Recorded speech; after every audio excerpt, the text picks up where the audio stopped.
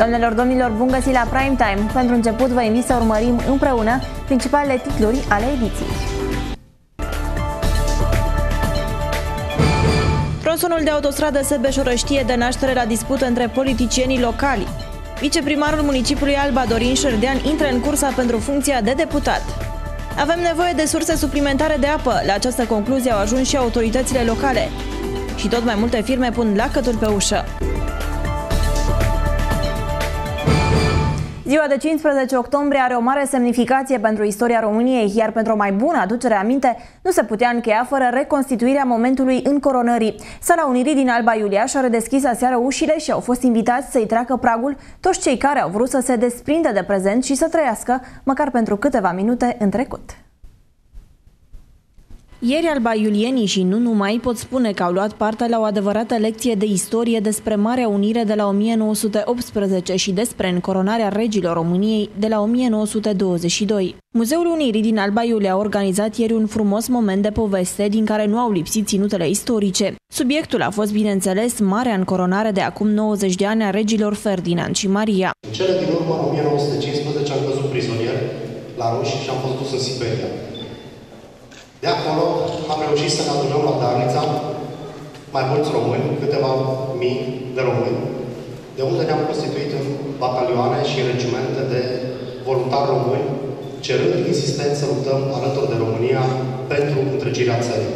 Această incursiune în istorie nu a însemnat sfârșitul zilei. Regimentul de gardă Mihai Viteazul a făcut mulțimea să se mute în piața cetății, unde, sub privirile curioșilor, a realizat o demonstrație de mânuire a armelor în acordurile fanfarei.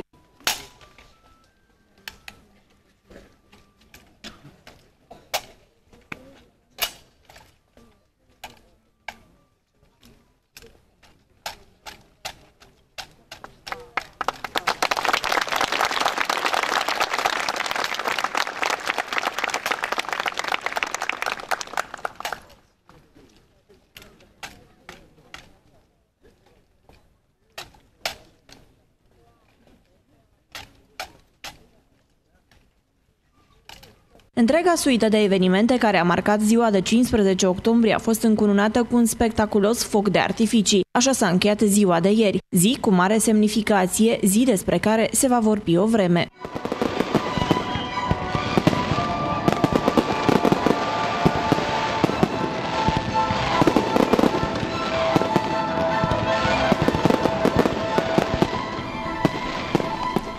Rămânem, uh, rămânem la marea sărbătoare pe care am retrăit-o ieri la Alba Iulia. După 90 de ani de la încoronarea regilor Ferdinand și Maria, în Sala Unirii s-au redeschis ușile pentru momente de lectură publică din jurnalul Reginei Maria.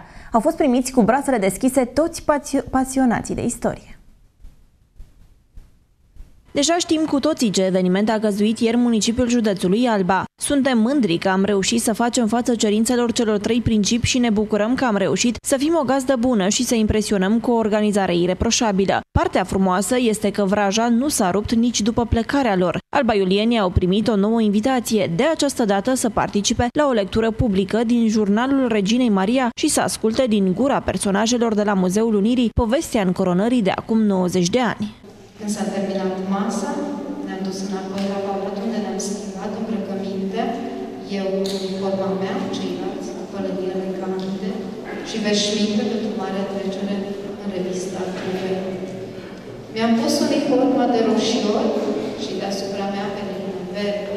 A avut loc un moment deosebit, un moment uh, în care au fost uh, citate din uh, memoriile Reginei Maria, impresiile ei, amintirile ei despre Alba Iulia și despre încoronare. Momentul a fost susținut de uh, colegele noastre de la Biblioteca Județeană Lucian Blaga. Seara nu s-a încheiat cu una cu două. După ce lectura publică a luat sfârșit, toate privirile s-au îndreptat curioase către sceneta în care s-a reconstituit momentul încoronării. Așadar, sala Unirii a fost ieri plină de evenimente, la fel și piața Custoza, unde, către finele programului, a avut loc un impresionant moment de mânuire de arme, dar și o explozie de culori care a umplut cerul. Pentru unii sărbătoare, pentru alții agitație. Ieri a fost ultima zi de depunere a cererilor pentru ajutorul de minimis oferit de guvern fermierilor afectați de seceta din acest an. Dacă în urmă cu o săptămână cifra producătorilor agricoli care și-au depus cererea se ridica la 4.000, acum aproape că s-a dublat și a ajuns la 7.668. Cuantumul sprijinului financiar reprezentând ajutorul de minimis este de 100 de lei pe hectar și se acordă pentru suprafețe de minim un hectar și maxim 10 hectare cu culturi agricole. Situația la zi cu depunerile de cereri pentru acest ajutor de minimis eh, din eh, potențiali producători agricoli care să-și depună cereri pentru ajutorul de 1 milion la hectar din evidențele APIA, 10.176 de producători agricoli și au depus 7.668. Deci un procent de circa 75%. Restul posibililor beneficiari nu și-au depus cererile din diferite motive sau pentru că au considerat suma la hectar prea mică ca să merite efortul de plasării sau completării actelor necesare. Cererile au fost depuse ca și altă dată pe ultima sută de metri. Parte din uh, cererile depuse au fost pe, ca de fiecare dată pe ultima sută de metri, să spun. Uh, până în data de 10, când a fost uh, penultima videoconferințe, ca astăzi a fost uh, videoconferințe pe problemele finale în ceea ce privește depunerea cererilor. Deci în data de 10 au fost uh, 4.000 de cereri depuse și acum, așa cum am spus, 7.668. Deci în 3 uh, zile, în 4 zile s-au depus jumătate de numărul de cereri care au fost depuse până în data de 10, circa jumătate. Începând cu data de 1 noiembrie acestui an ar trebui să înceapă procedura de virament a banilor în contul fiecărui producător agricol. Tronsonul de autostradă Sebeș-Orăștie este aprig disputat și discutat de politicienii locali. Contribuția acestora în demararea lucrărilor a fost inexistentă, însă ne bucură interesul acordat pentru finalizarea acestora. Cu finanțările au fost de curând sistate, politicienii locali încearcă acum să stea la masa discuțiilor cu autoritățile naționale, atribuindu-și pe rând calitatea de intermediar și negociator. Este sigur că nu vom asista la inaugurarea tronsonului de autostradă Sebeș-Orăștie în aprilie 2013, însă asistăm la dispute între politicieni pe teme de lobby la nivel național pentru susținerea lucrărilor la autostradă. Ce am întâlnirea cu domnul Pop, directorul CNADR, care îmi spune, domne, am plătit la zi la CNADR, primesc un mail de la directoarea șefa serviciului financiar, direcția financiară, care mă anunță următorul. Bună ziua, domnule, bună ziua! Ultima plată efectuată către Stracu pentru proiectul de autostradă Orăștie Sibiu a fost efectuată în 31.07.2012. După multiplele adrese făcute către Ministerul Finanțelor, firma care prestează lucrările la autostradă a primit asigurări că viramentele se vor face cel târziu în 10 octombrie. Însă, din informațiile deținute de Clement Negruț, banii nu au fost virați, iar lucrările la autostradă stau sub semnul întrebării. Preconizăm că în perioada 9 a 10 2012, 10 a 10 a 2012 se va efectua și plățit. Din ceea ce știu eu, încă ieri nu erau primiți bani. Pe tronsonul Sebeș-Orăștie, chiar dacă ritmul de lucru a scăzut, autostrada prinde contur. Nu știm însă cât mai ține hărnicia muncitorilor în cazul în care firma nu mai este capabilă să susțină salariile angajaților din fonduri proprii. Noi le urăm spor la muncă și la bani, că de grija politicienilor nu duc lipsă. Cornel Comșa, președintele PPD de Alba, scoate la iveală înțelegerile dintre liderii partidelor PDL și PNL, care își doresc să elimine candidații PSD de pe liste la alegerile parlamentare. Contral deciziilor luate la nivel național, în județul Alba, Alianța USL sau ARD nu există, democrații și liberalii fiind cei care și-au decis împărțirea colegiilor parlamentare după bunul plac. Lupta pentru împărțirea colegilor parlamentare este de nesfârșit. Mai mult de atât, în arealul politic județean se întrevede chiar o împărțire amiabilă între PNL și PDL a colegilor pentru Senat și deputați. Unul dintre liderii marcanți ai PDL și PNL, nu spun cine, mi-a zis foarte politicos, bă, eu n-am nicio treabă cu PPDD-ul. Eu cu uh, oamenii ăștia vreau să terminăm PSD-ul la nivelul județului Alba. În opinia liderului PPDD, alianța neoficială între PDL și PNL este confirmată și de alianța făcută la nivelul Consiliului Județean, unde posturile de viceprimari au fost împărțite între cele două partide. Mai mult de atât, colegiile parlamentare au fost împărțite între cele două partide, candidații fiind aleși în așa fel încât să câștige alegerile favoritul unui anumit partid nesocotind votul oamenilor, nesocotind că mai există PPDD, nesocotind că mai există alte opțiuni politice, liderii locali, județeni, mă rog, ai PDL și PNL, și-au împărțit colegile. Și au spus, Atanasiu, am cu Giru, um, am um, în Alba voturi pe politic chiar mai multe decât a avut Dumitrel. Și atunci, domnul Dumitrel sau domnul Hava, dați-mi o carne de tun, ceva, să pot să câștig detașat. Și se gândesc așa, Atanasiu iese aici. Singurul colegiu pe care cele două partide nu și-au ales candidații pe măsură este colegiul 4 Aiudog Namureș, unde PPDD va veni cu o propunere care va bulversa pe cei doi contracandidați, Sorin Bum și posibil Elena Ignat. Viceprimarul municipiului Alba este singurul candidat anunțat oficial din partea PPDD-ului pentru alegerile parlamentare din decembrie. Acesta va candida pentru colegiul 1 de deputați, având ca și contracandidați pe Dorin Nistor din partea PDL și posibil Călin Potor, noul candidat USL. După îndelungi dezbateri în interiorul partidului, 10 membri și alte 3 personalități din exteriorul partidului se află pe lista nominalizărilor făcute de Partidul Poporului. În viitor, partidul își deschide porțile actualilor politicieni sau tehnocrați care nu se pot afirma în rândurile partidului din care fac parte, dar care, printr-o alianță alături de PPDD, ar avea mai multe șanse de câștig. Dacă cineva, un tânăr, un, o personalitate care nu neapărat este activă în viața de partid vrea să participe, să ridice scorul partidului, să reprezinte oamenii pe, pe care, cum să spun, este mai legitim să-i reprezinte, nu, nu au loc. Deci nici tinerii, nici un val nou, nici personalități externe care sunt agreate, iubite, poate idolatrizate de uh, cetățenii unui colegiu, un, unui județ, nu au loc pentru că sunt aceste combinații care le închid gura tuturor. În urma discuțiilor, singurul candidat anunțat oficial de PPDD este Dorin Șerdean pentru Colegiul 1 de deputați. Cornel Comșa, președintele partidului, este deocamdată indecis. A fost propus de colegii săi atât pentru cele două colegii de senatori, cât și pentru cel de deputat, însă decizia îi aparține, iar verdictul pentru o viitoare candidatură va fi dat doar peste o săptămână. Prin urmare, în momentul de față nu pot să vă dau decât un nume, pentru că este singurul din colegiu, dintr-un colegiu, care nu are adversar nici intern, nici extern. Adică el deja este unicul nostru candidat și nu avem discuții. Este Dorin Șerdeanu. Deci avem pentru Camera Deputaților Colegiul 1 Dorin Șerdeanu.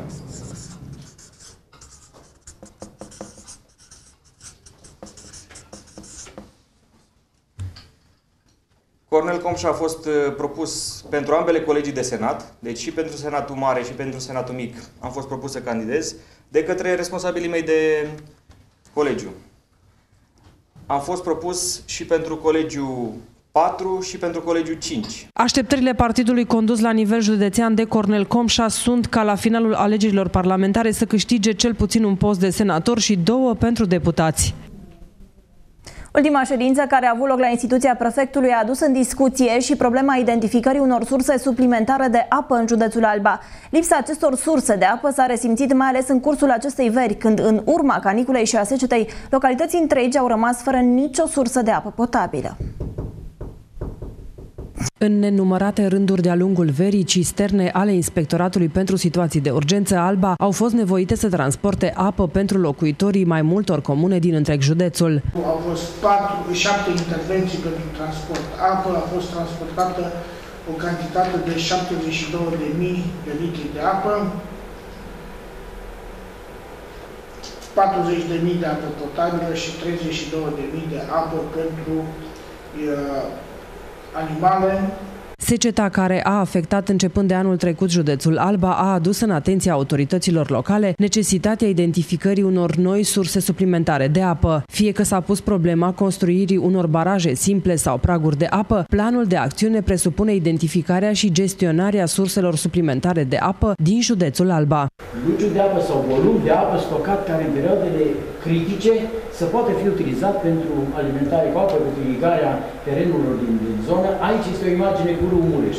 Iată cum arată Mureșul în perioada de secetă. Acest fir care îl vedeți sunt apele uzate care curg din zona municipiului. Pentru realizarea unui program complex de gestionare a resurselor de apă, atât pentru gospodăriile populației, cât și pentru agricultură, se impune și corelarea cu măsurile de apărare împotriva inundațiilor. Unii oameni au într-adevăr probleme cu apa, însă alții au probleme și mai grave. Vorbim despre aceste probleme și despre cum pot fi rezolvate cu domnul Adrian Dușa, directorul Crucea Roșii Alba. Bine ați revenit în prime time. Vă mulțumesc pentru invitație. Mulțumim că sunteți alături de noi. Mâine se sărbătorește Ziua Internațională de Eradicare a Sărăciei și știu că în acest sens Crucea Roșie Alba nu a stat cu mâinile încrucișate, ci a luat atitudine, s-au strâns ceva alimente pentru familii uh, care chiar au de-a face cu ceea ce numim sărăcie în adevăratul sens al cuvântului.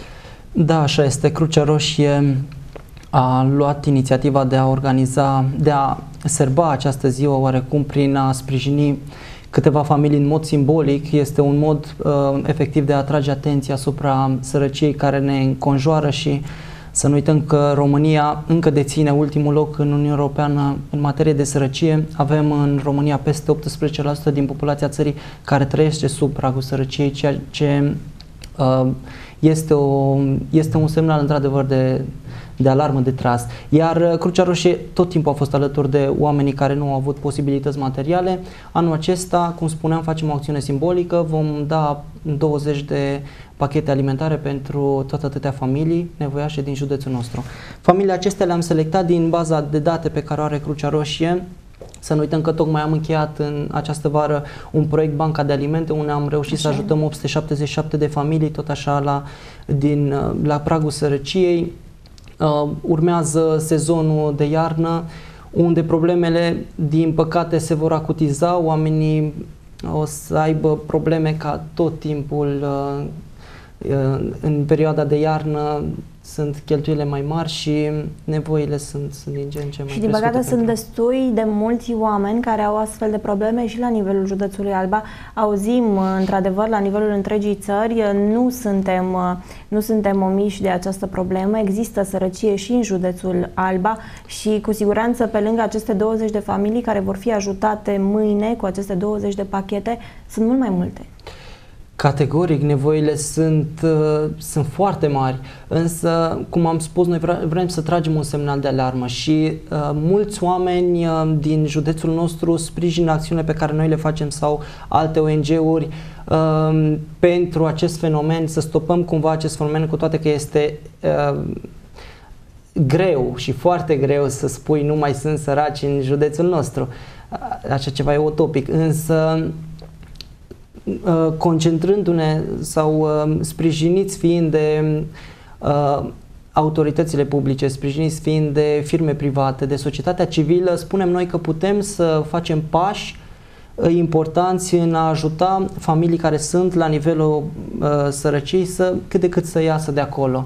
Și uh, ce mi se pare tot timpul oarecum tragic este că aceste familii au mulți copii, iar aceștia nu au nicio vină, au dreptul de a trăi la fel de civilizat și de frumos ca și alții care provin din familii înstărite. Și cu siguranță nimeni nu-și dorește să trăiască în sărăcie, au poate Așa nevoie este. doar de o mână întinsă, de o mână de ajutor, ceea ce face și Crucea Roșie. Uh, mâine, așa cum spuneam încă de la începutul intervenției noastre, este Ziua Internațională de Eradicare a Sărăciei. Ce ar trebui să facem? Noi, fiecare dintre noi, pentru a simți cumva că este această zi, pentru, nu știu, poate a face o faptă bună. Ce ați Da, vă dau un exemplu. Voluntarii noștri au strâns aceste alimente pe care noi o să le distribuim mâine într-un lanț de magazine, nu cred că pot să-i dau numele aici, însă au stat la intrare în magazin, au dat pliante pentru banca de alimente unde au prezentat oamenilor că pot să facă o donație mică, un pachet de biscuiți, un pateu care e un leu, Uh, știu eu, o, uh, un kilogram de zahăr, de făină, alimente în general de, de bază de neperisabile. Da, exact.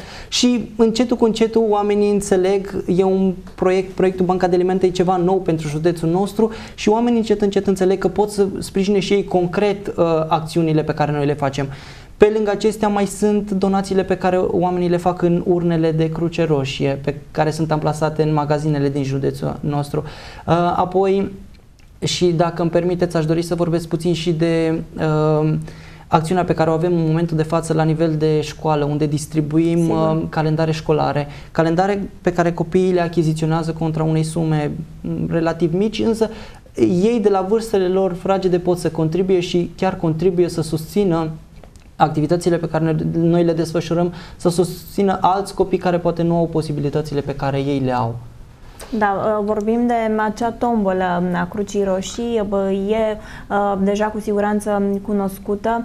Um, aș vrea să mai amintiți uh, puțin de ea, unde pot, um, unde pot oamenii albaiulienii să găsească această tombolă? Ce înseamnă? Deci, tombola Crucii Roșii a fost, e o idee lansată de anul acesta, în sensul că noi în fiecare an distribuiam orare școlare în unitățile de învățământ. Însă pentru a fi puțin mai atractive pentru elevi și oarecum a, a spori numărul uh, de calendare pe care noi îl comercializăm, am zis să fie ceva mai interesant și să stimulăm da. pe copii efectiv ca ei să-și dorească foarte mult să cumpere, pe de o parte știind că sprijină și că uh, se implică și ei într-o acțiune umanitară, pe de altă parte putând să cumpere ceva și uh, nu în ultimul rând pentru că în acel orar sunt foarte multe informații educative despre sanitarii pricepuți, despre primul ajutor și așa mai departe. Ei bine, uh, am lansat această tobolă în nivelul întregului județ, pot să participe toți elevii de școli generale și licee care achiziționează un orar și în, în zilele acestea Ehm, pot să spun că vom încheia, cred că săptămâna aceasta o să finalizăm distribuția în, în tot județul de orare școlare. În data de 17 septembrie va fi, va fi extragerea, da, avem premii foarte atractive. Stați, 17 septembrie. Uh, mă iertați, 17, mă iertați, 17 decembrie. 17 decembrie, da, înainte de, înainte de Moș Crăciun, uite că vine Crucea Roșie cu un cadou da, pentru și sunt premii foarte atractive, un laptop, tabletă, aparate foto, oh. telefon, iPhone uh, șepci, tricouri și așa mai departe. Premii substanțiale, premii interesante, cu siguranță da. cei mici sau cei mai mari din unitățile școlare din județ sunt foarte interesați de această uh, tombolă.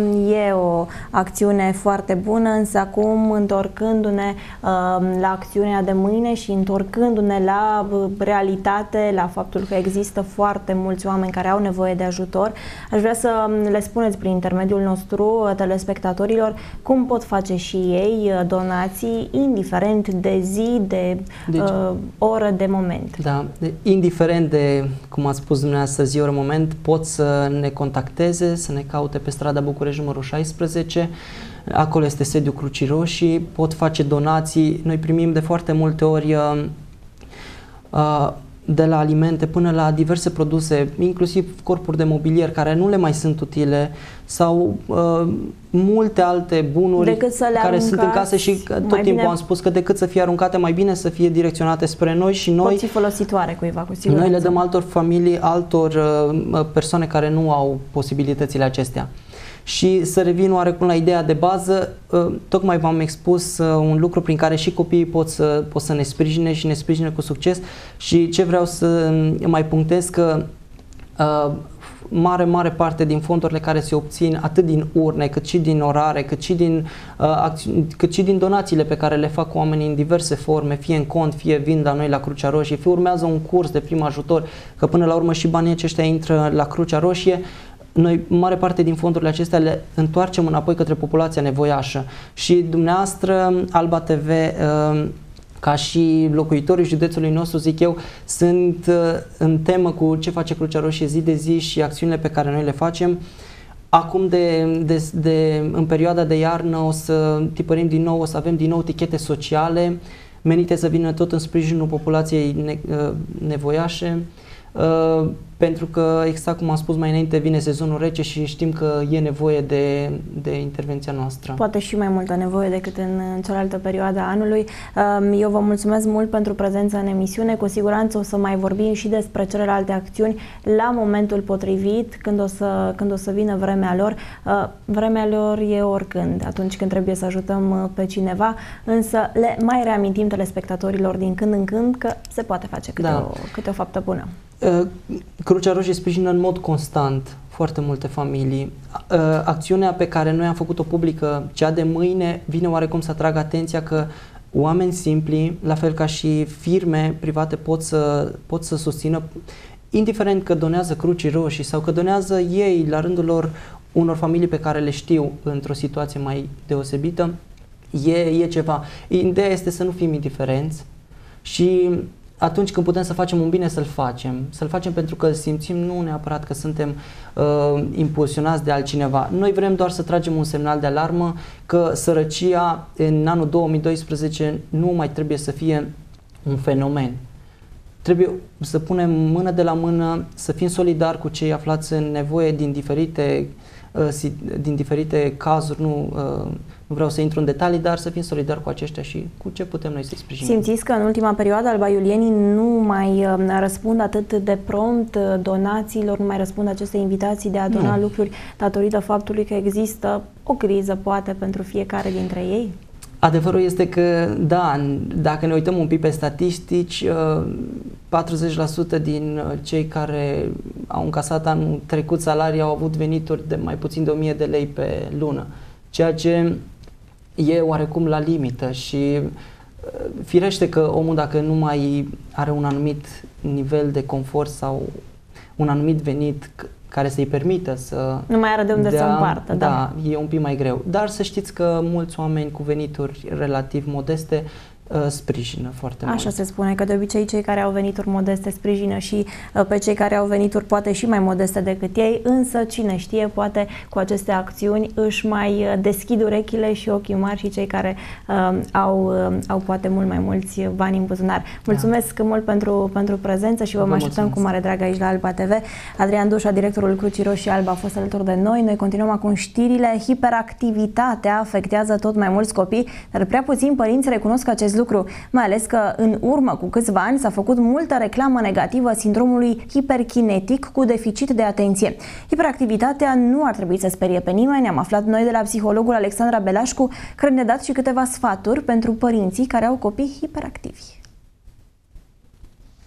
Hiperactivitatea este unul dintre principalele simptome ale deficitului de atenție la copii, însă nu orice copil care e hiperactiv are această tulburare comportamentală, așa cum nu orice prichindel mai agitat din fire este diagnosticat cu această tulburare. Uh, pe toate planurile trebuie lucrat cu un uh, copil uh, hiperactiv, în primul rând în familie, părinții trebuie să fie conștienți de acest lucru și trebuie să lucreze din punct de vedere al regulilor impuse în familie, ce comportamente sunt uh, recompensate, uh, ce comportamente sunt uh, pedepsite, să fie consecvenți în regulile pe care le aplică acasă, să își încurajeze și să, să își aprecieze copilul atunci când comportamentele lui sunt adecvate. Mai multe lucruri despre hiperactivitate, dar și despre comportamentele opozante la copii, vă invităm să urmăriți în emisiunea ProSănătate de sâmbătă de la ora 20 și 30 de minute. În încheiere, părinții trebuie să știe că, deși poate reprezenta un dezavantaj, hiperactivitatea se poate transforma într-un avantaj dacă ei sunt conștienți de acest lucru și sunt consecvenți în ceea ce privește modelarea copilului.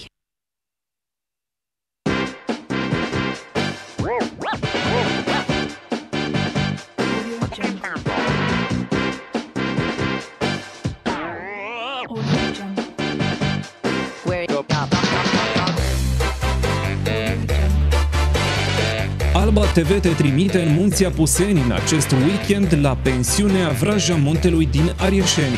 Urmărește emisiunea Primetime, ascultă întrebarea concursului și sună la numărul de telefon 0371 020 000 sau intră pe www.știrilealba.tv.ro pentru a câștiga o mini-vacanță de două persoane în Munții Apuseni la pensiunea Vraja Muntelui din Arieșeni.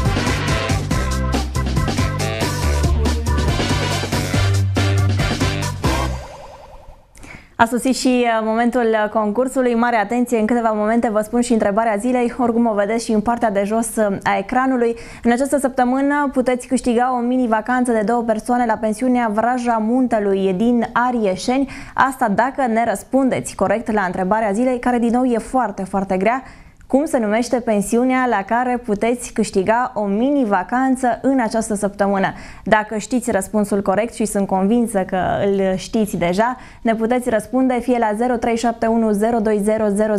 număr de telefon cu tarif normal, fie intrând pe site-ul nostru www.știrilealbatv.ro la secțiunea concurs. Mult succes vă doresc! Luăm o scurtă pauză și revenim în câteva momente.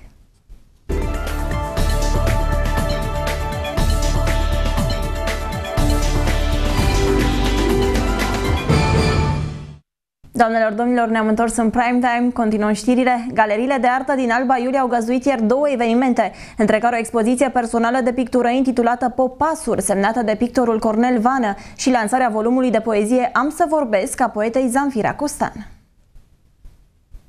După ce au fost prezentați de către profesorul Traian Mârza, ambii artiști au luat cuvântul și au vorbit despre operele lor. Într-un scurt interviu, Cornel Vană a descris colecția de picturi expusă în sală și a explicat unul dintre tablouri. Mi-am uh, dorit să mai fac o expoziție în Cetatea Alba Iulia.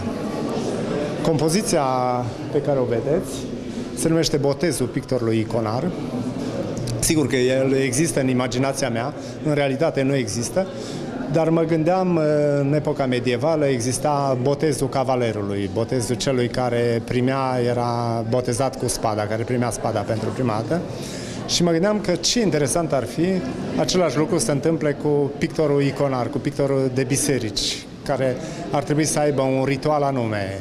Am uh, făcut popasuri și în mediul urban, vezi Sighișoara, vezi câteva compoziții cu turda și ne lipsind, evident, florile de câmp, naturile statice cu flori de câmp. În concluzie, paleta este largă, am abordat uh, aproape toate temele artei plastice, începând de la compoziție cu personaje, uh, peisaj, natură statică.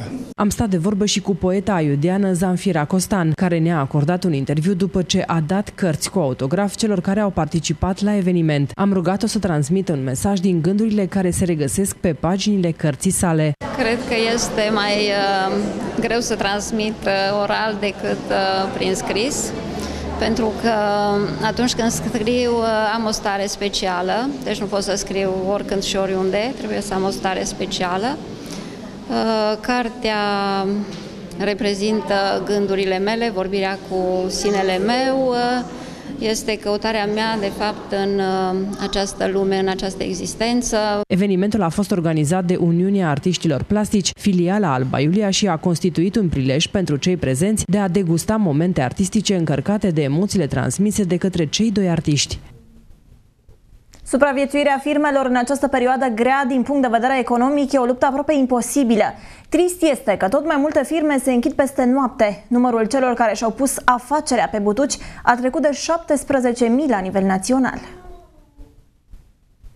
Numărul firmelor pe care s-a pus lacătul s-a dublat față de aceeași perioadă anului trecut. Fruntaș la acest capitol este Bucureștiul, Clujul și Brașovul, cu aproape o treime din total. Situația nu este însă rost nici în celelalte zone importante ale țării, iar motivele principale sunt cererea slabă, concurența sau mediul economic neprietenos. Mai grav este că după închiderea unei firme, tot mai mulți români rămân șomeri. Și asta nu este totul. Țara noastră mai este pândită și de un alt pericol. Tot mai multe firme decid să își mute activitatea în străinătate. Firmele multinaționale pot decide oricând să părăsească peisajul românesc, iar mai nou și patronii români au început să le preia exemplul. Situația nu este deloc normală și nici nu duce la un viitor economic mai bun. Să sperăm însă că mai mari țării noastre se vor trezi la realitate și vor lua atitudine la declinul vizibil la care asistăm. Profesorii din România sunt atât de săraci încât nu își permit să își cumpere nici măcar haine. Știu, nu vă spunem o noutate, însă surpriza este că profesorii ar putea primi câte 2000 de lei pe an bani pentru haine. Este încă o hotărâre, ci doar un proiect inițiat de deputatul Mircea Giurgiu. Acesta vrea ca profesorii să aibă la dispoziție o sumă din care să-și permită să se prezinte decent în fața elevilor.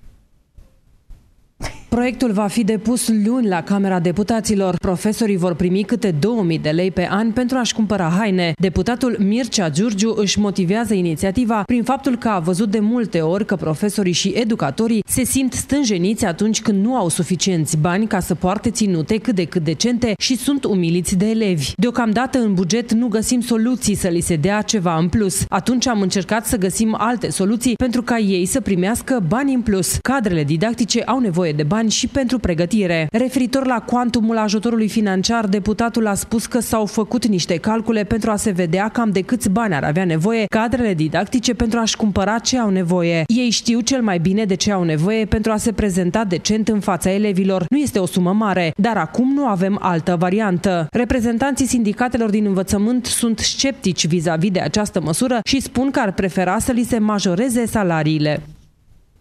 Asus a anunțat astăzi la Milano cea mai nouă versiune a dispozitivului hibrid tablet smartphone denumit Petphone. O a doua generație a modelului dispune de caracteristici extrem de performante, precum o cameră de 13 megapixeli capabilă de înregistrare video high definition la 60 de cadre pe secundă. În ceea ce privește partea de smartphone, Padphone 2 vine echipat cu un ecran de 4,7 inch, un procesor Quad-Com de tip quad-core, memorie RAM de 2 GB, o baterie de 2140 de mAh, o cameră frontală de 1,2 megapixel și una principală de 13 megapixeli, capabilă de înregistrare video 1080p la 30 de cadre pe secundă și 720p la 60 de cadre pe secundă. Terminalul va rula sistemul de operare Android Ice Cream Sandwich. Tableta a fost reconfigurată cu o baterie mai mică de 5000 de mAh, ceea ce a rezultat într-o greutate mai redusă decât modelul anterior. Asus Padphone 2 va fi disponibil în versiunea cu 16, 32 și 64 de GB capacitate de stocare și va putea fi achiziționat în România înainte de sfârșitul anului.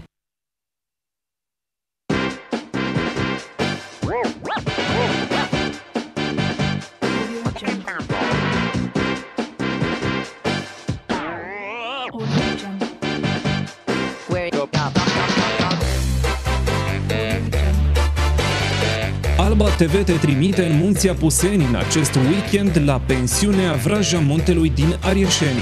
Urmărește emisiunea Prime Time, ascultă întrebarea concursului și sună la numărul de telefon 0371 020 000 sau intră pe www.știrilealba.tv.ro pentru a câștiga o mini-vacanță de două persoane în Munții Apuseni la pensiunea Vraja Muntelui din Arieșeni.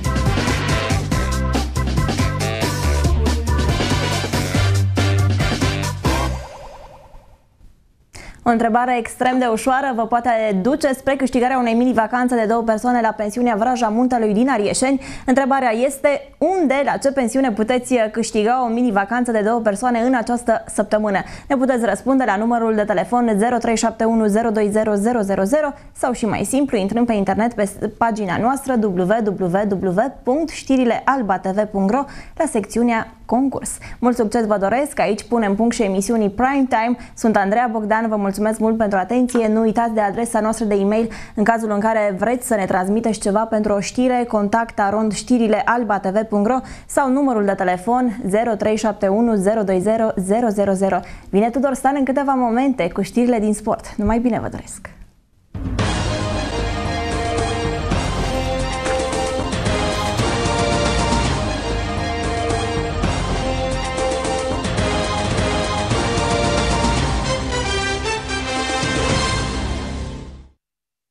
Bine v-am găsit la știrile din sport.